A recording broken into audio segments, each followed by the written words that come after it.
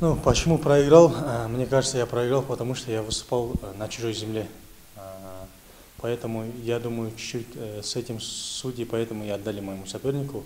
Но тактика на бой была такая, что первый раунд я должен был свести в ничью, второй, третий раунд я должен был отдать небольшим преимуществом.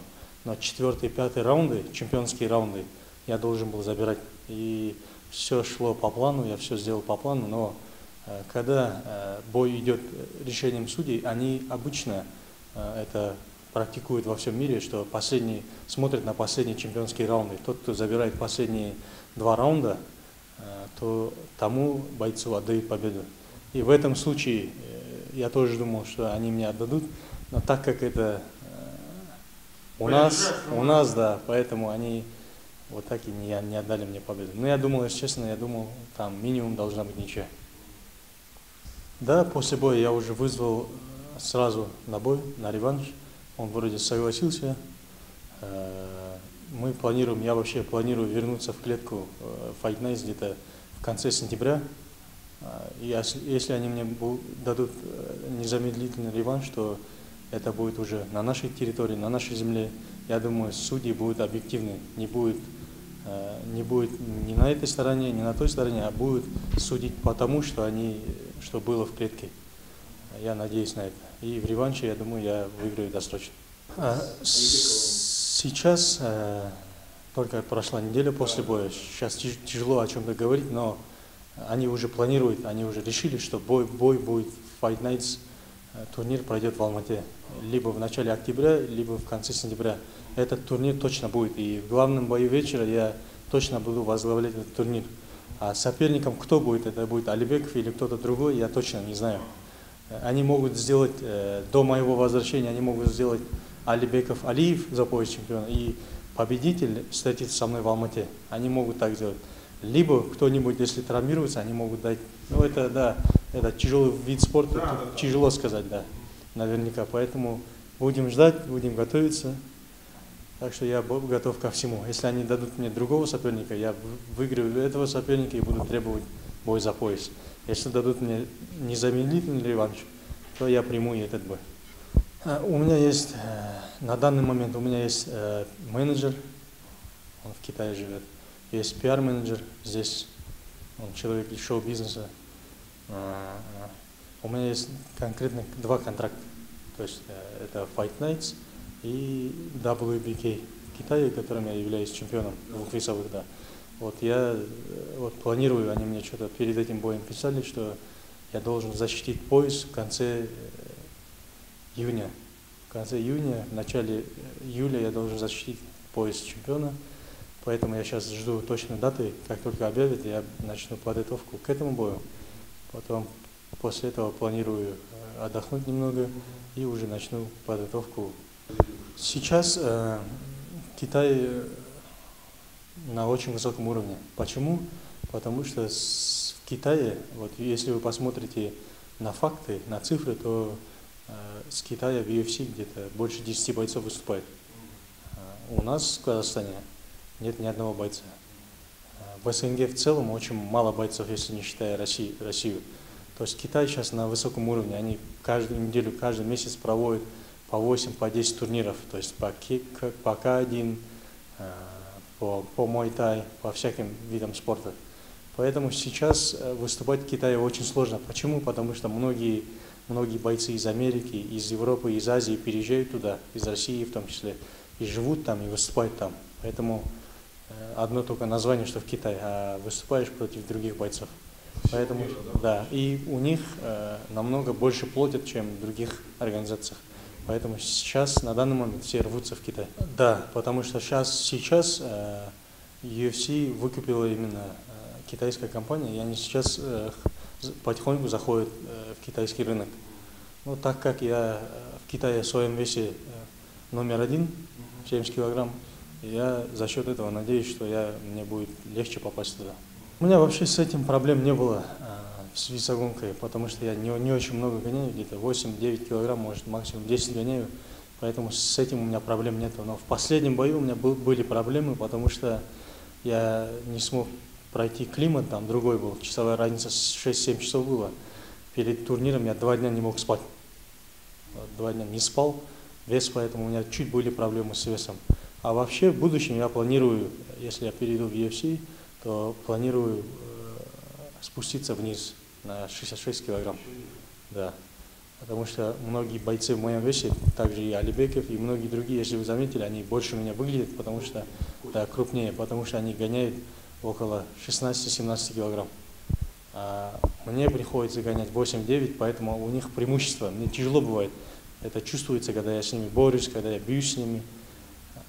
Поэтому я планирую, может быть, после этого боя может, в будущем я обязательно перейду на 6 килограмм. У всех по-разному. Кто-то набирает 5 килограмм, кто-то набирает 10, кто-то набирает 7. А я где-то набираю 7-8 килограмм. Ну, сейчас э, я могу сказать, что у нас развитие ММА в Казахстане идет очень хорошо.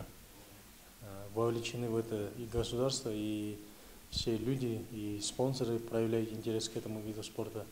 Э, несколько существует в Казахстане, несколько федераций ММА, появляются новые, все новые, все новые турниры.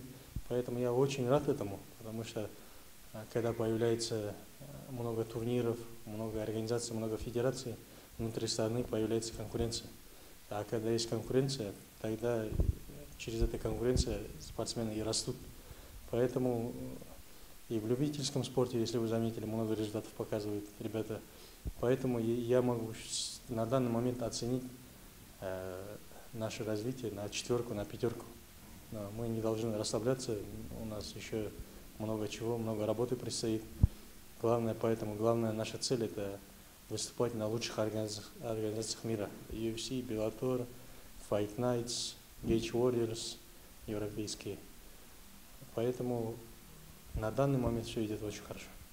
Ну, UFC это вершина, да. Но, как я уже сказал, это зависит от, от многих факторов.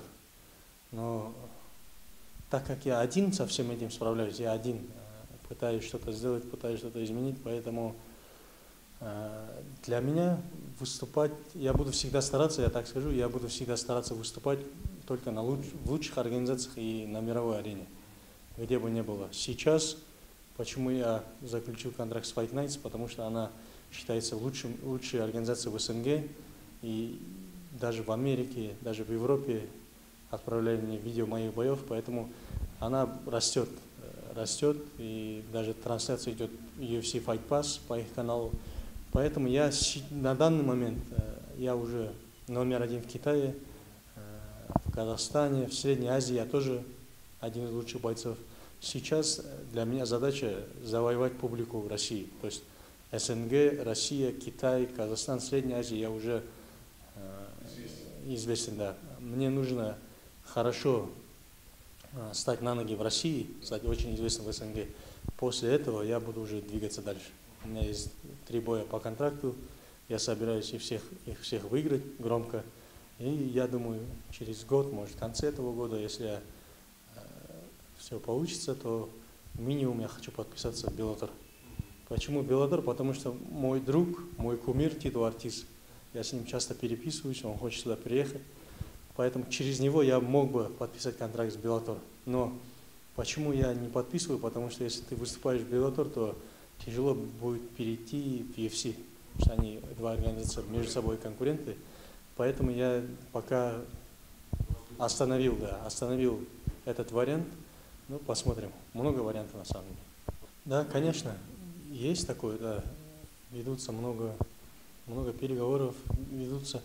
Но все смотрят на рынок. Я еще раз говорю, боец, э, на бойца, конечно, им хорошо иметь хорошего бойца, но почему они не проявляют интереса к нашим бойцам, бойцам СНГ, потому что у нас нет такого, у нас менталитет другой, если вы заметили, у нас э, все ребята скромные, а в Америке нужно шоу. Да, им нужно шоумен, им нужно яркий выход, им, нужно, им нужен тот боец, который поднимет их организацию на новый уровень.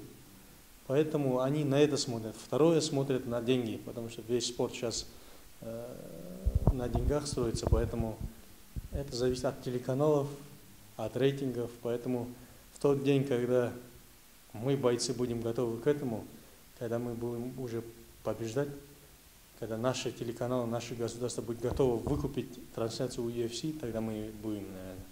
Потому что, если вы заметили, вот мы, когда начали выступать в Fight Nights, только трансли... трансляция велась только к спорту. Как только мы начали выступать, они, государство увидело, что наши болельщики, наша страна очень следит и болеет, да, есть аудитория определенная, вся страна, можно сказать, смотрит, вот телеканал Хабар уже начал транслировать в прямом эфире. Поэтому это вза взаимовыгодная сделка, нужен боец, который э, будет тянуть к себе публику, и, соответственно, после этого наши телеканалы будут транслироваться. Ну, мы придем к этому, потому что мы всего 6 лет занимаемся этим видом спорта, для нас это новое. Но придет время, я думаю, мы дойдем до этого.